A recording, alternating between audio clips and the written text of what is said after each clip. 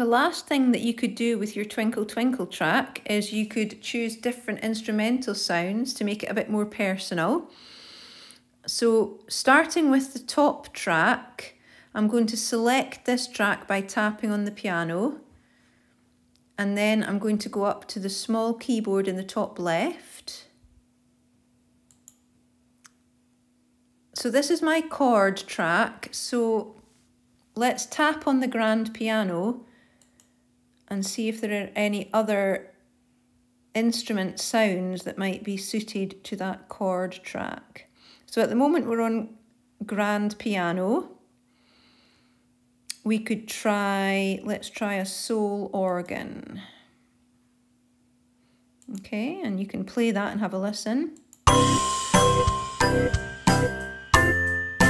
That's a very different sound to the piano. Okay, let's tap on that soul organ. You can try any of these keyboard sounds that takes your fancy, but let's have a, a look also at this menu down here where it says other.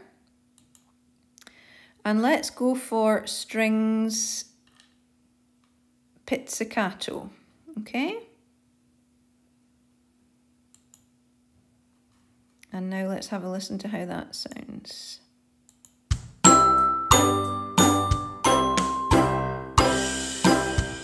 That's a little bit like having a string orchestra accompanying your melody there.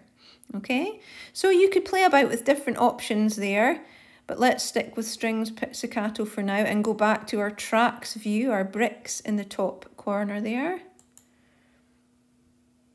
And there we can see our strings. So let's select the next track down the piano bass track. Okay, and then tap the tiny keyboard at the top. And here we are back in our piano bass view. So we're going to tap this grand piano here. And let's choose a bass sound that will go nicely with our strings pizzicato. So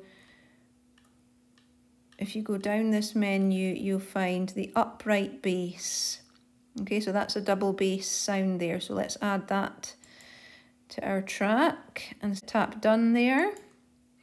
Okay, and then let's have a wee listen.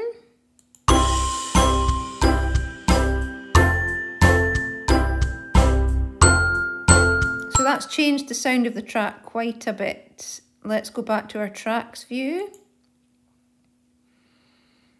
And I'll try something different on my Glockenspiel track now. So if we select this track and then tap the small keyboard at the top.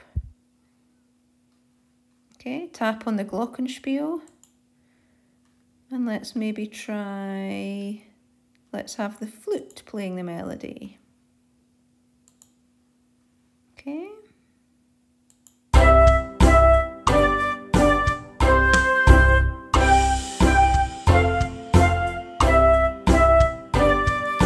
These are just a few examples of what you could try. Once you've tapped on that instrument in the middle there, you can try anything you like from the list. Here you can have different keyboard sounds. You can experiment and see what you like the sound of and just have some fun. So I hope you've enjoyed doing Twinkle Twinkle. Well done.